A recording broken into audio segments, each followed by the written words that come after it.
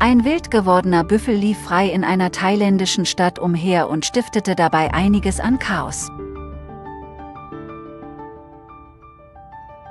In Chiang Mai randalierte der entflohene Büffel auf den Straßen. Dabei verletzte das Tier drei Menschen.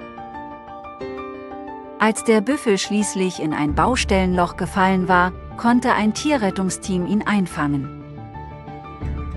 Das Tier wurde mit Betäubungsmitteln beruhigt, um es mit einem Kran aus dem Loch heben zu können. Der Besitzer des Lastwagens, von dem der Büffel geflohen war, möchte nun für die Schäden aufkommen.